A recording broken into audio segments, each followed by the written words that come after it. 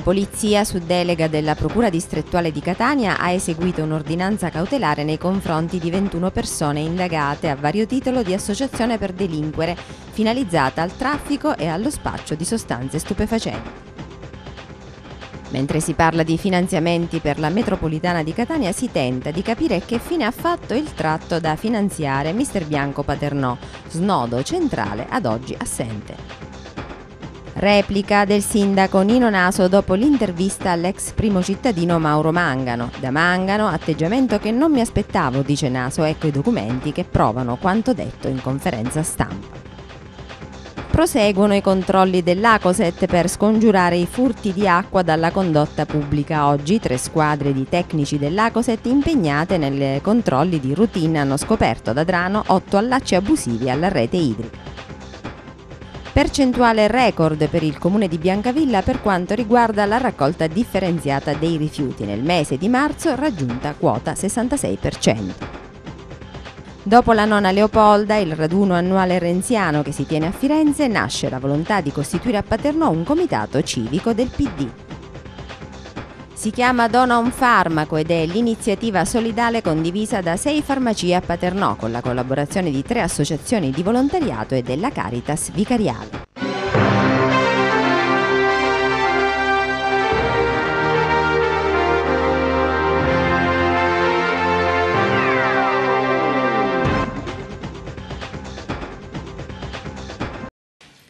Buonasera ai telespettatori di Chuck Telesud e bentrovati per questo nostro nuovo appuntamento con l'informazione della sera.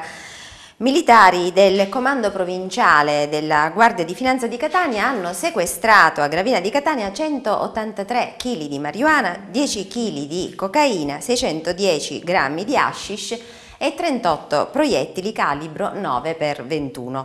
Il sequestro è stato disposto a conclusione di indagini delle fiamme gialle del GICO del nucleo di polizia economico-finanziaria in un garage durante una perquisizione eseguita con l'ausilio di unità cinofile e di personale della compagnia pronto impiego. A seguito dell'operazione un uomo è stato arrestato per illecita detenzione di stupefacenti e munizioni. Il quantitativo complessivo di droga, che rappresenta uno dei più rilevanti sequestrati nell'Interland di Catania, secondo stime degli investigatori, avrebbe fruttato nella vendita al dettaglio oltre 3 milioni di euro. La polizia, su delega della Procura distrettuale di Catania, ha eseguito un'ordinanza cautelare nei confronti di 21 persone indagate a vario titolo di associazione per delinquere finalizzata al traffico e allo spaccio di sostanze stupefacenti. Sentiamo i dettagli.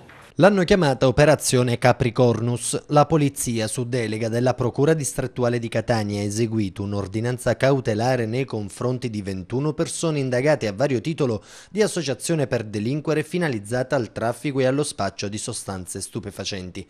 Indagini della squadra mobile della Questura Etnea hanno evidenziato l'esistenza di due gruppi criminali e fatta luce su una vera e propria alleanza tra narcotrafficanti catanesi ed esponenti delle endrine calabresi per l'approvvigionamento di cocaina e con i palermitani per l'acquisto di marijuana. Ai vertici dei due gruppi, secondo quanto emerso dall'inchiesta della DDA, ci sarebbero Carmelo Scilio, di 45 anni, che opera nel rione di San Giovanni Galermo, e Salvatore Anastasi, di 68 anni, che vive nel popolare quartiere di Montepo. Nelle loro abitazioni, la squadra mobile di Catania ha installato telecamere nascoste che hanno ripreso le attività dei due indagati. I due gruppi, seppure rivali sul mercato del traffico, avevano in comune alcuni dei fornitori di droga, tra questi per la cocaina i fratelli Domenico e Francesco Mammoliti di 51 e 46 anni dell'omonima cosca calabrese di San Luca. La marijuana invece partiva da Partinico e arrivava a Catania affidata a fidatissimi spedizionieri. Secondo l'accusa, Sciglio e Anastasi erano dei grossisti che trattavano consistenti partite di droga da vendere a spacciatori di grosso calibro che a loro volta le rivendevano a dei pusher. La catena è stata ricostruita dalla squadra mobile di Catania che ha eseguito un'ordinanza di custodia cautelare del GIP emessa su richiesta della DDA della locale procura che ha disposto il carcere per 12 indagati, 4 dei quali erano già detenuti e i domiciliari per altri 8, 3 dei quali quali si trovavano già in carcere per altri reati. Una persona irreperibile Durante le indagini la polizia ha effettuato diversi sequestri di droga e arrestato dei corrieri. A casa di Scidio la polizia ha inoltre trovato una corona, simbolo, secondo gli investigatori, della sua capacità di regnare, tra virgolette, nel settore del traffico di droga. E proprio in queste ore si sta dirigendo in direzione di Lampedusa, quanto si evince dai tracciati radar e da quanto confermano fonti informate, la Alan Kurdi, nave di CIAI con 64 migranti soccorsi a bordo. Dopo essersi diretta a nord da qualche ora, la nave ha puntato il timone verso ovest e si trova a circa 30 miglia da Lampedusa. La Alan Kurdi avrebbe chiesto al centro di coordinamento marittimo italiano l'indicazione di un porto sicuro.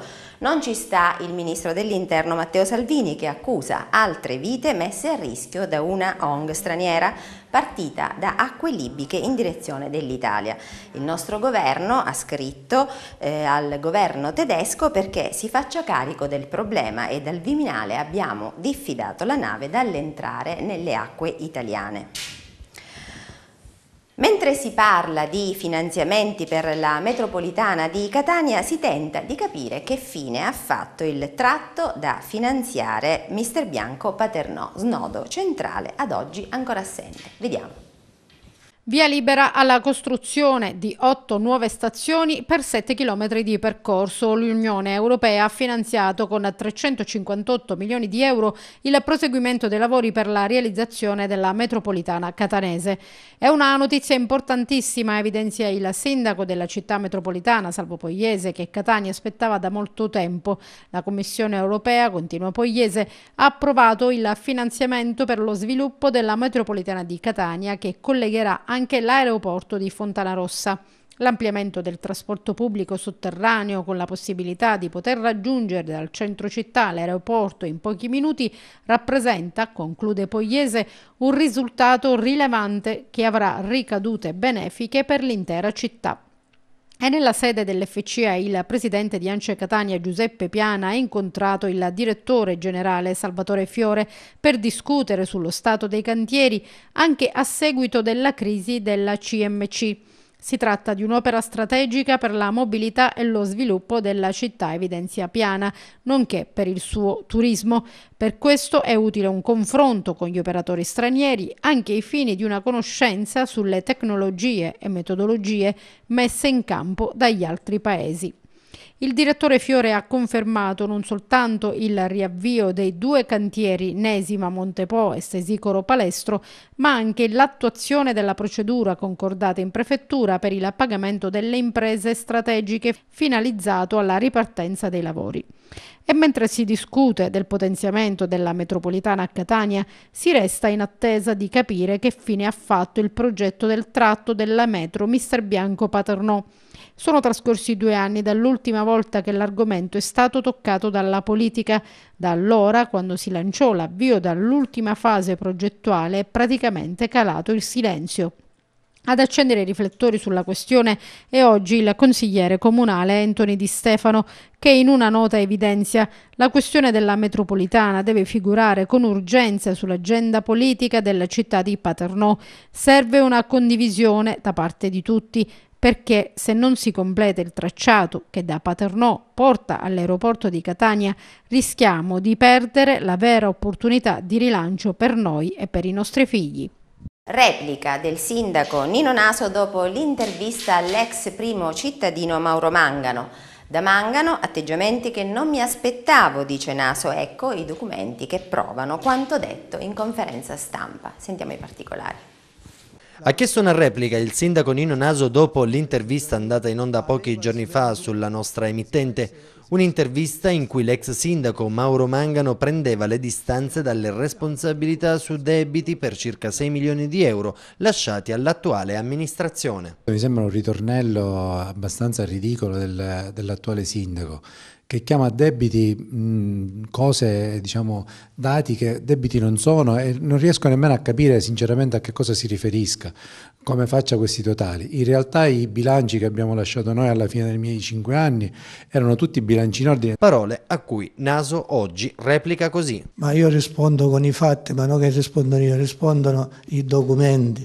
In mano ne ho alcuni, che riguardano i rifiuti, che riguardano l'energia elettrica, che riguardano, li potete poi, ve li farò inquadrare, che riguardano il canile comunale, che riguardano i debiti eh, fuori bilancio per delle, per delle, sentenze esecutive che ha subito il comune e le somme del dopo scolista, l'ho detto più volte, le abbiamo quantificate più di 6 milioni di, di euro di debito.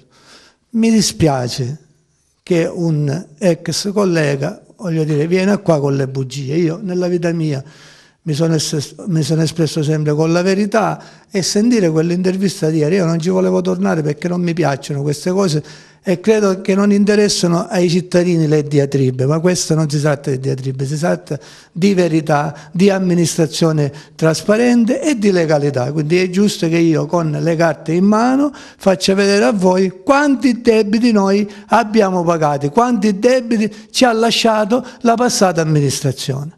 Una replica tutto tondo con cui Naso ricorda anche di aver annullato la delibera del famoso project financing da 26 milioni di euro con cui la precedente amministrazione aveva pensato di cedere la gestione dei cimiteri di Paternò ad alcune società per i prossimi 30 anni. La passata amministrazione, quasi a fine legislatura, aveva svenduto i nostri due cimiteri per 30 anni ad aziende di fuori per un importo di 26 milioni di euro. Uno dei primi atti che ha fatto Nino Naso con la sua amministrazione è stato quello di annullare questa delibera.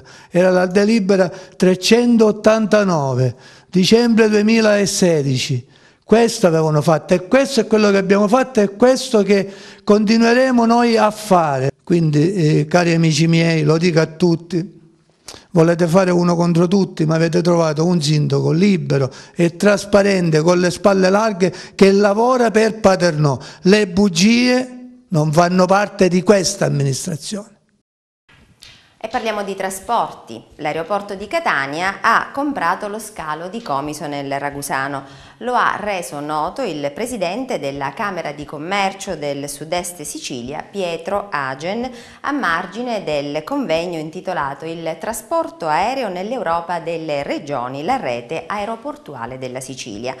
Una buona notizia, ha detto il presidente Agen, la SAC ha acquisito l'intero pacchetto azionario dell'Intersac, un passo avanti per la rete aeroportuale. Il collegamento tra gli scali è vitale perché la situazione è pessima. È un'occasione per il sistema dei trasporti aerei, ha osservato Agen. La Sicilia non cresce senza investimenti, mentre, ha concluso il presidente della Camera di Commercio del Sud-Est Sicilia, il sistema aeroportuale del sud-est può diventare la Fiat dell'isola creando posti di lavoro con cantieri che saranno aperti. Cambiamo argomento, proseguono i controlli dell'Acoset per scongiurare i furti di acqua dalla condotta pubblica. Oggi tre squadre di tecnici dell'Acoset impegnate nei controlli di routine hanno scoperto ad Adrano otto allacci abusivi alla rete idrica. Vediamo. Chi con allacci abusivi ruba l'acqua fa pagare il proprio consumo ai cittadini onesti che pagano. Comincia così una nota dell'Acoset inviata alla nostra redazione con la quale comunica che proseguono i controlli per scovare gli allacci abusivi alla rete idrica. E proprio nella giornata di oggi tre squadre di tecnici dell'Acoset impegnati nei controlli di routine nel territorio adanita hanno scoperto otto allacci abusivi, otto abitazioni prive del controllo arrendatore allacciate in maniera illegale alla condotta idrica. Gli otto proprietari degli immobili in questione adesso saranno invitati a regolare la loro posizione con l'azienda idrica. Proseguiremo ogni settimana e senza sosta la lotta all'abusivismo e agli allacci abusivi, si legge nella nota dell'Acoset, perché per pagare meno è necessario che a pagare siano tutti coloro che usufruiscono del servizio idrico. Viene ribadito inoltre che l'allaccio abusivo alla rete idrica configura il reato di furto aggravato dal ricorso al mezzo fraudolento ed è reato punito anche dalla legge sulla tutela delle acque.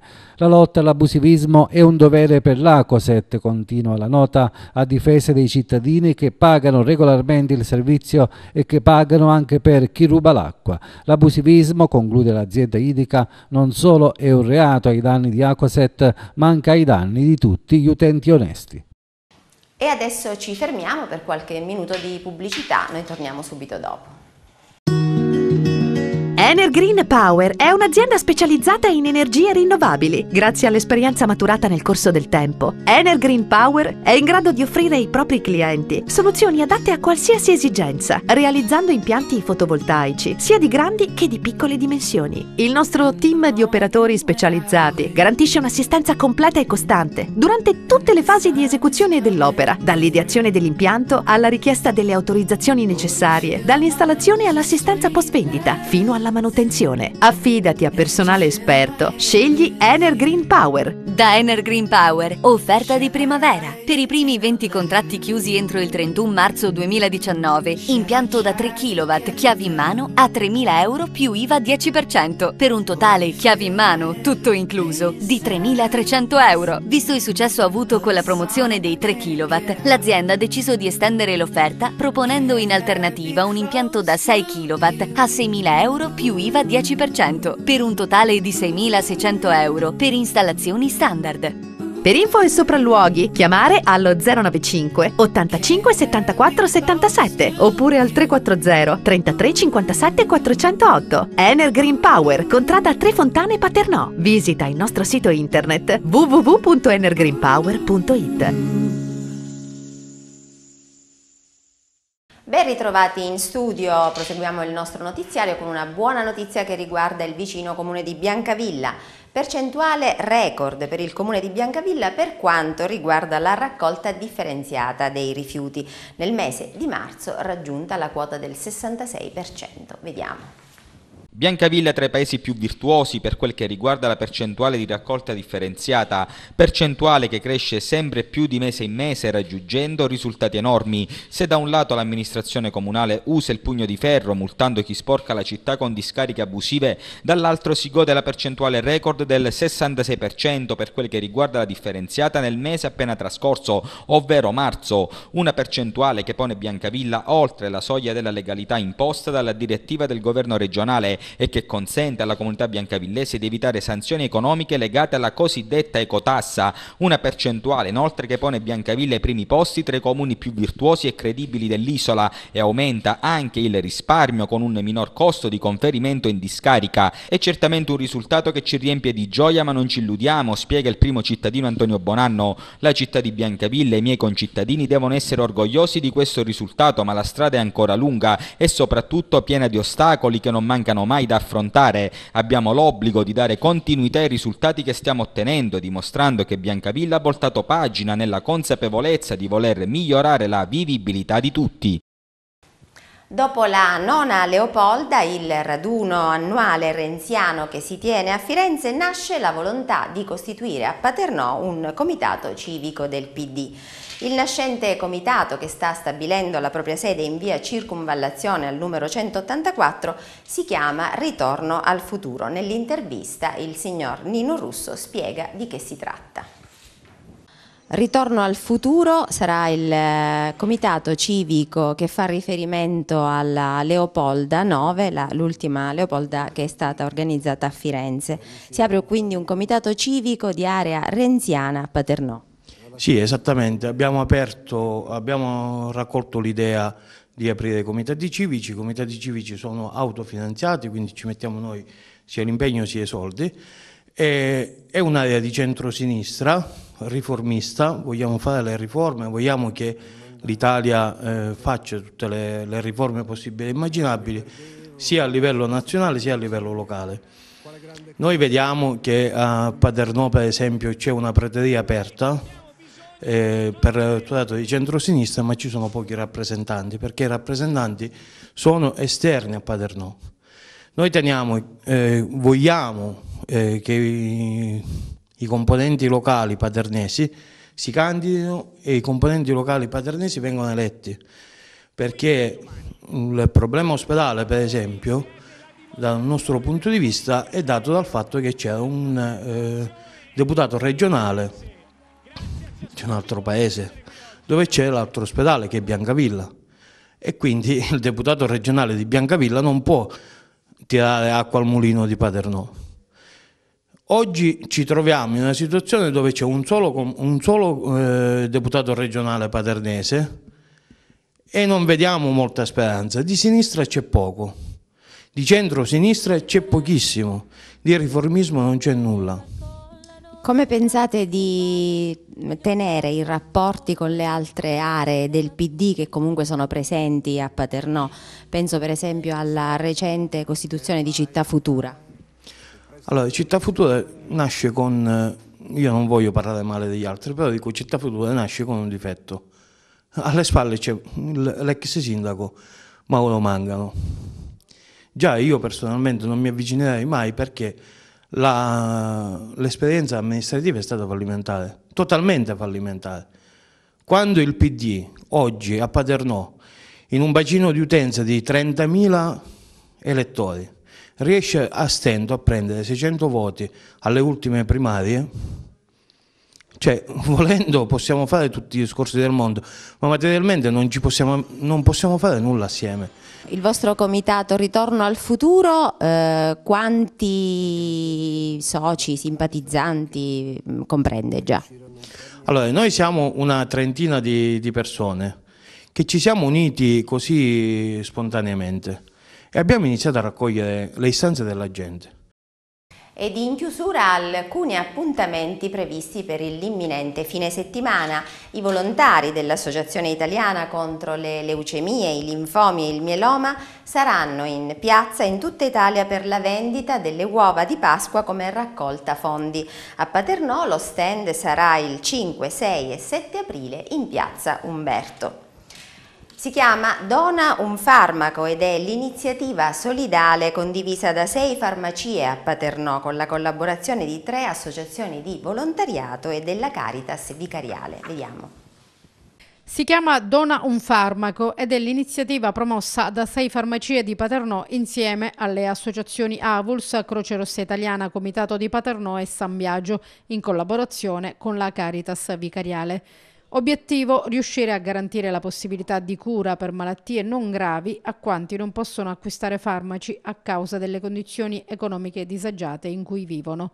Si comincia sabato prossimo 6 aprile con l'iniziativa che proseguirà ogni primo sabato del mese. Confrontando le nostre esperienze con i colleghi ci siamo resi conto di quante persone non hanno facilità di accesso al farmaco quotidianamente e allora abbiamo pensato di mettere in campo le nostre forze. Le farmacie sono una realtà presente in maniera capillare sul territorio e abbiamo il dovere e il desiderio di fare qualcosa per aiutare la popolazione. Un'iniziativa lanciata dalle, da sei farmacie, sposata poi dalle associazioni tra le tante associazioni c'è l'Avuls, c'è anche la Croce Rossa Italiana. Ecco come si svilupperà. Allora, la Croce Rossa già nel nostro territorio è da tempo che fa queste raccolte per il mh, mm, banco farmaceutico o comunque per aiutare le popolazioni. Eh, si è associata a questa iniziativa ben volentieri e si occuperà nel particolare di accompagnare ovviamente tutta l'iniziativa, ma soprattutto nella distribuzione poi dei buoni che gli indigenti verranno a ritirare nella sede della Croce Rossa, che è in Vicoli Veri, lo ricordo per chi fosse appunto interessato.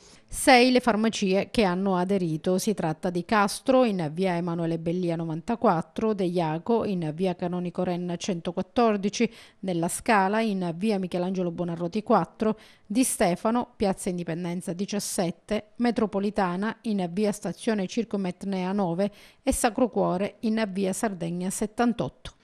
Oltre alla mensa che già riscuote tanto eh, servizio ma anche tanta attenzione nei confronti dei bisognosi, dei nostri fratelli e delle nostre sorelle in situazione di bisogno, questa è un'ulteriore attenzione.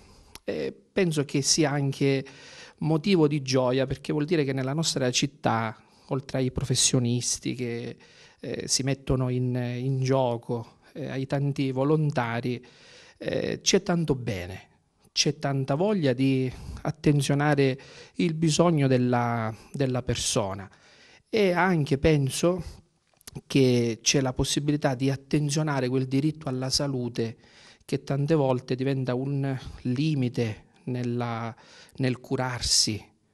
Eh, questo è quell'attenzione particolare addirittura ci fa capire come per curarsi eh, tutti possono eh, hanno diritto a questo, nessuno escluso, e che benvengano attività del genere nei confronti delle persone, delle tante famiglie. Quindi anche il ringraziamento della Caritas e anche l'invito ai tanti nostri concittadini di eh, attenzionare questi primi sabati del, di ogni mese per donare un po' tutti per tanto. Grazie.